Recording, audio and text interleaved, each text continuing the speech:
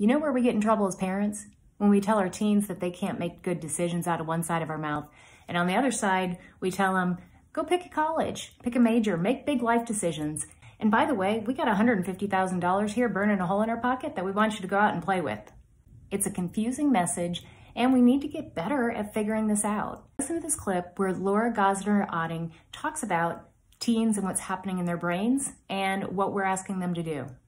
You know, when you were 16, 17, 18 years old, somebody said, pick a college, pick a major, pick a trade, pick a path, and you went, Yeah.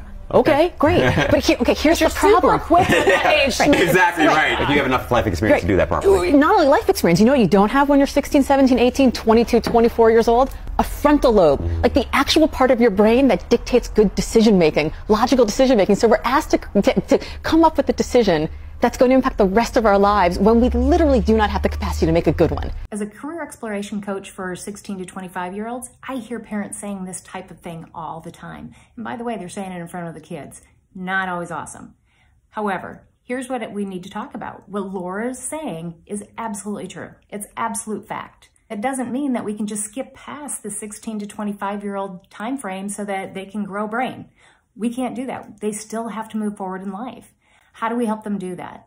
And I can tell you the best way to do it is to start having conversations, real conversations, and helping to guide your kiddo to figuring this out. Two thirds of teens that I talk to say figuring out a career path and college major is the most overwhelming part of planning for college. And it's the part that we're talking about the least.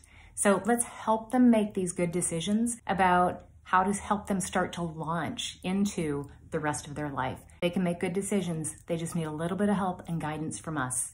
In fact, you can start having these conversations as early as elementary school. I know, call me crazy, but it works. If you're struggling with what to say to your teen, go out to my bio and download my Career Conversation series. It'll help you with all kinds of activities that are going to help you have really meaningful conversations with your kid and feel like you're making progress. You're amazing. Get out there, have those conversations with your kids. You got this.